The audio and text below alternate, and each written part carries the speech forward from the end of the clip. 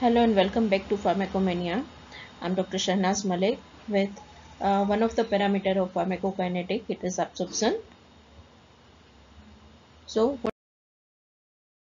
pharmacokinetic is derived from two word pharmacon meaning drug and kinesis means movement of the drug. In short, it uh, what the body does to the drug. There are four parameters like absorption, distribution, metabolism and excretion of the drug. All these process involve in movement of the drug molecule through the various biological membrane.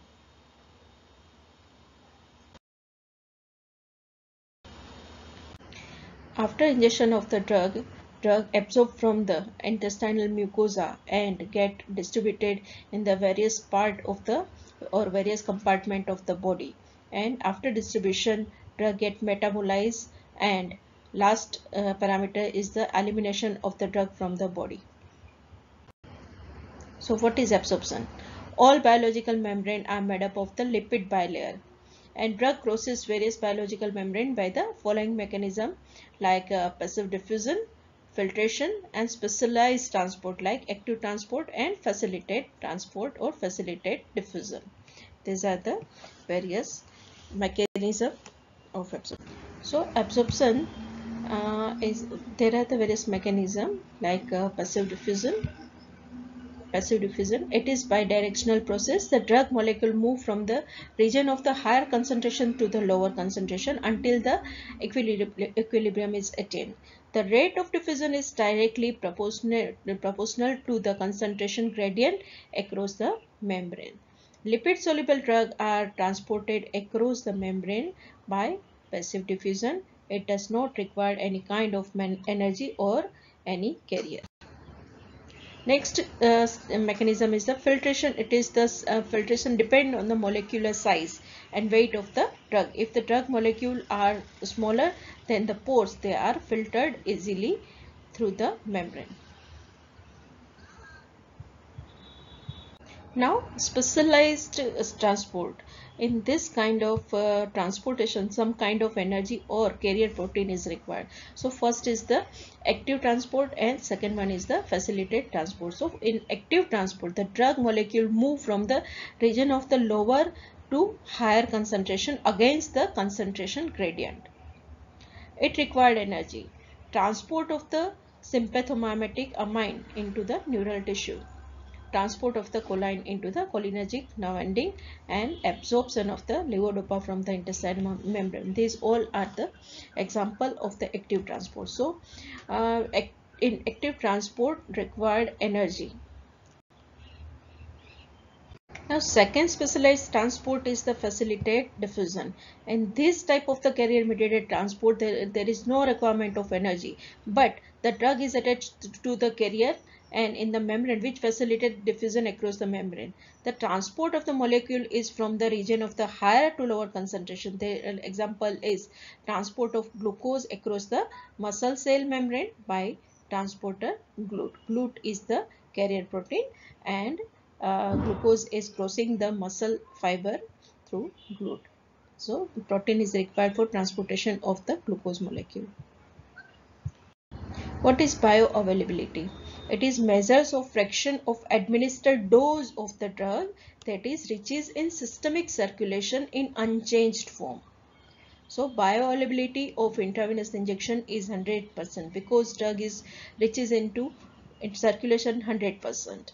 Oral injection uh, oral injection of bioavailability is low due to drug may incompletely absorbed or absorbed drug may undergoes first pass metabolism in the intestinal wall, liver or by um, excreted in bile.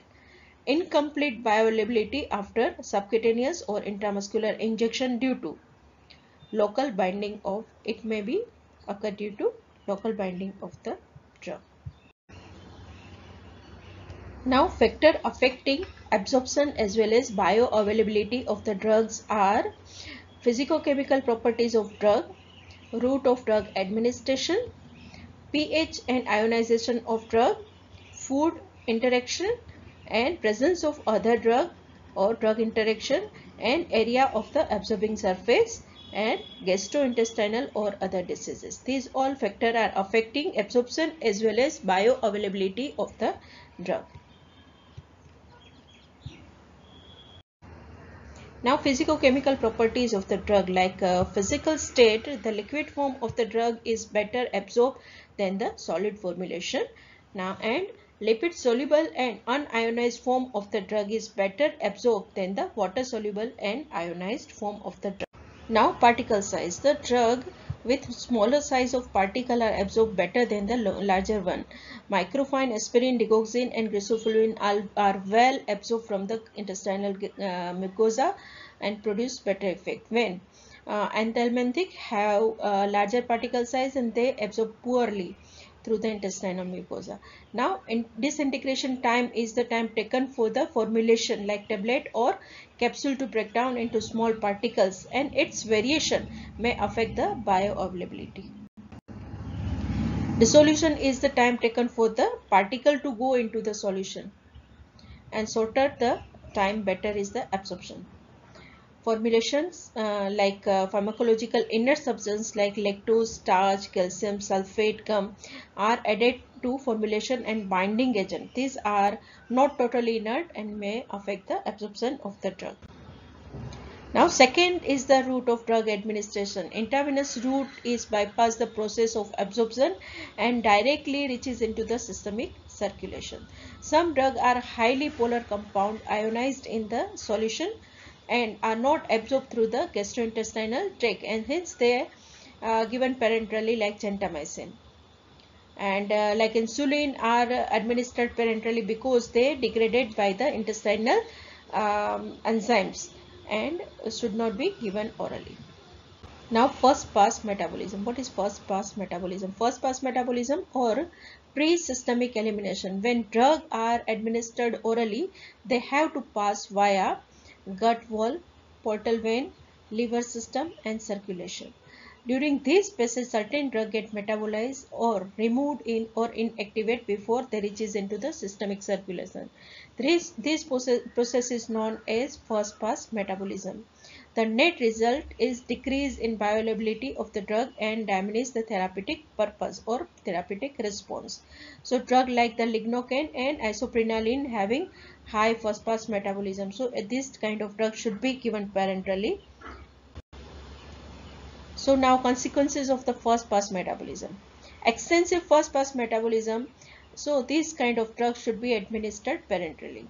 Lignocaine is administered intravenously in ventricular arrhythmia. The dose of the drug required for the oral administration is more than uh, given by the systemic route like nitroglycerin. pH and ionization uh, strongly acidic drug like heparin and strongly basic drug like aminoglycoside remain ionized in uh, all pH so they are poorly absorbed and excreted unchanged form so this kind of drug should be um, given parenterally food uh, presence of food in the stomach can affect the absorption. Food decrease the absorption of uh, rifampicin levodopa and they should be taken empty stomach for better effect. Milk and milk product decrease the absorption of the tetracycline and fatty milk increase the absorption of the griseofulvin presence of other drug like concurrent administration of two or more drug may affect the absorption of uh, drug like ascorbic acid increase the absorption of the iron. When antacid uh, reduce absorption of the iron as well as tetracycline and area of absorbs, uh, absorbing surface is drug is better absorbed in the intestinal mucosa because larger surface area.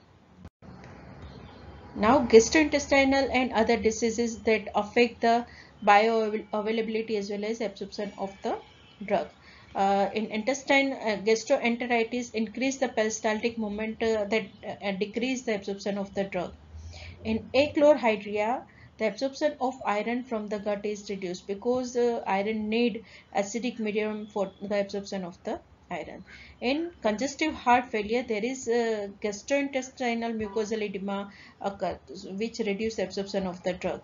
And in hepatic diseases, they result uh, decrease in drug metabolism and increase bioavailability of the drug and undergoes first pass metabolism.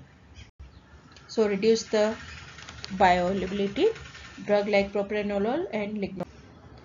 Now, enterohepatic cycle. Some drug excreted via the bile, but after reaching in intestine, they reabsorb from uh, liver, bile, intestine, and cycle is uh, repeatedly going on, and it is called enterohepatic circulation. It increases the bioavailability and duration of action of the drug.